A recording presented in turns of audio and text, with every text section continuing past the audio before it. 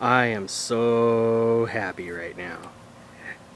I have wanted for so long to line my driveway with impaled bodies. I know, it's weird, but it's one of those things that I have wanted to do for a long time. I've got one done. I just need to do another. Um, and maybe over the coming years I can add a few more.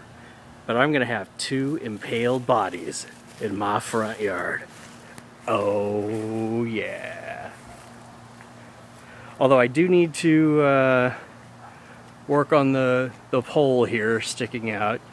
It's uh, a little too round, a little too perfect, but uh, and by the way, that's PVC. It looks like wood, but it ain't.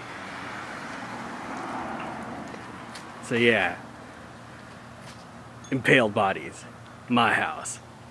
Hell yeah.